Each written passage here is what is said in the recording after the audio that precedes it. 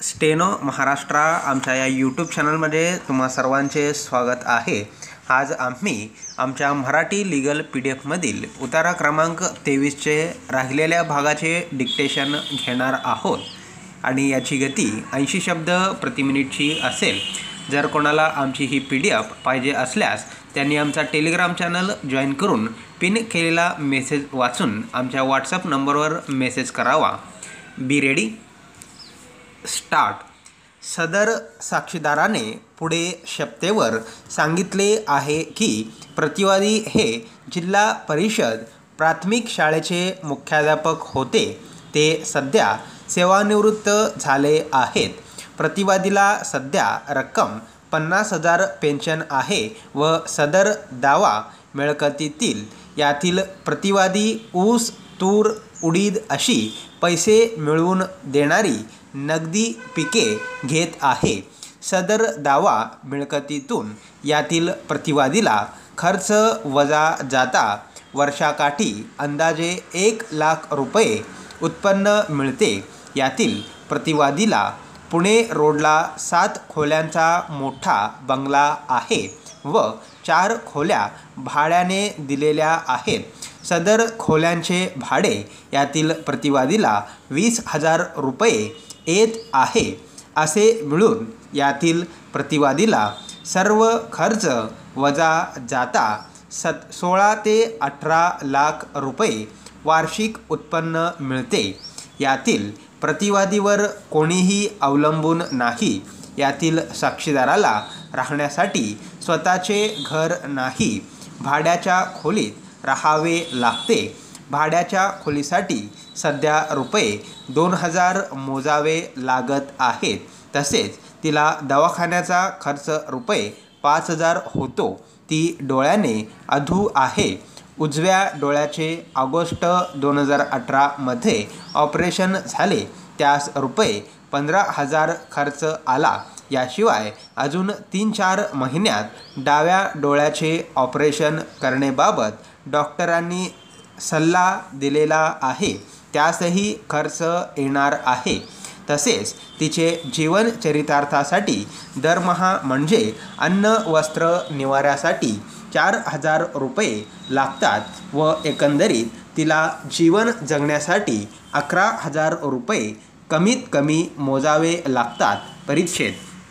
वादीने तिच्या उलट तपासात सांगितले आहे की चारही प्रकरणातील पोटगी तिने वसूल केलेल्या आहेत त्या चारही प्रकरणातील पोटगी आता प्रतिवादीकडून बाकी राहिलेली नाही. सदर चारही प्रकरणे चालू असताना तिचे पती हे नोकरी करीत होते. तिने मान्य केले आहे की ते दिनांक तीस नऊ दोन हजार चार रोजी निवृत्त झाले आहेत. तिने मान्य केले आहे की पेन्शन चालू असतानाचे उत्पन्न हे नोकरी चालू असतानाचे उत्पन्नापेक्षा कमी आहे. तिने स्वतःहून सांगितले आहे की त्यांना बरीच आहे. ते हेडमास्तर असल्याचा तिच्याकडे त्याचा पुरावा आहे की हे तिला खात्रीने सांगता येत नाही. तिने मान्य केले आहे की अंतरिम पोटगीची रक्कम तिने अनामत म्हणून स्वीकारली आहे. वादीने तिच्या उलट तपासात प्रतिवादी सोबत त्यांच्या समवेत सहा माणसे आहेत. परिच्छेद. प्रतिवादीने सरतपासात कथन केले आहे की त्याच्यावर दरमहा रुपये एक हजार प्रमाणे पोटगी बसली आहे. त्या दाव्याच्या निकालापूर्वी ते दिनांक तीस नऊ दोन हजार चार रोजी शिक्षक म्हणून निवृत्त झालेले होते. परंतु त्या निकालाच्या वेळी ते निवृत्त झालेल्याचा विचार न करता त्याच्यावर दरमहा रुपये एक हजार पोटगीचा हुकूम झालेला होता. वादीच्या माहेरची परिस्थिती अत्यंत गरिबीची असल्याचे खोटे आहे. वादीच्या माहेरी पंचवीस तीस एकर बागायती जमीन आहे. तसेच वादीच्या वडिलांचा नारळ विक्रीचा मोठा व्यवसाय आहे. दाव्यामध्ये प्रतिवादीने रक्कम रुपये एक हजार प्रमाणे पोटगी नियमित भरत असताना वादीने अंतरिम पोटगीचा अर्ज देऊन प्रतिवादीवर अन्याय केला आहे.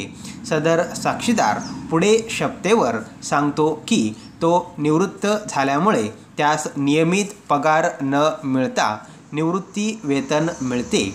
वयोमानाने त्यांना आजार झालेला असून त्यास मधुमेह रक्तदाब व कोरोनाचा आजार झाला होता. साक्षीदारास शेतातून काही उत्पन्न येत नाही. त्याच्याकडे बैल बारदाणा नाही.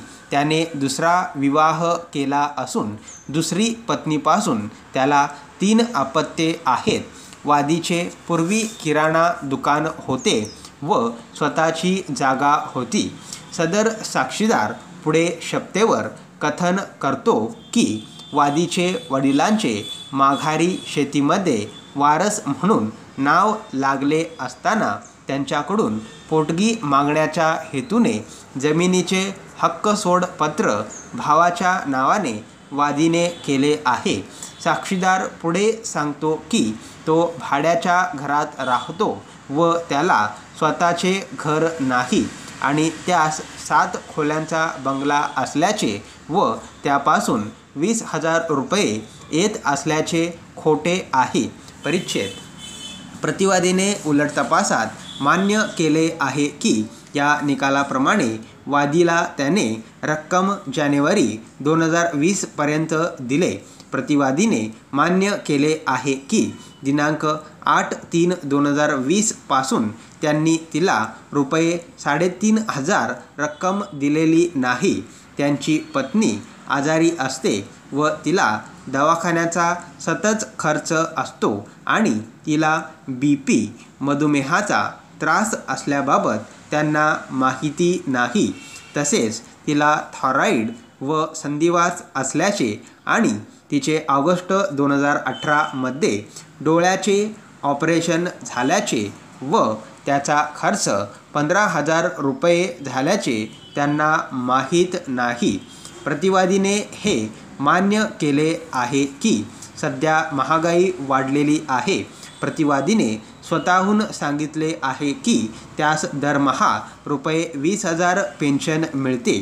प्रतिवादीने मान्य केले आहे की त्याने दुसरे लग्न केले आहे व त्यामध्ये तीन मुले त्यांना आहेत दोन मुली आहेत आणि त्यापैकी एकीचे लग्न झाले आहे व ती तिच्या सासरी असते.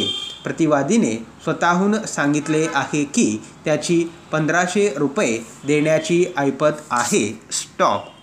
ह्या पुढील राहिलेल्या भागाचे डिक्टेशन पुढच्या व्हिडिओमध्ये घेण्यात येईल.